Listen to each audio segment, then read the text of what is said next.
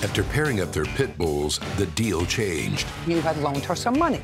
I did, Your Honor. He told me I didn't have to pay him back. But she still dogged him for a puppy. She threatened me saying, if you want to do this the hard way, we could do it the hard way. Next, Judge Judy.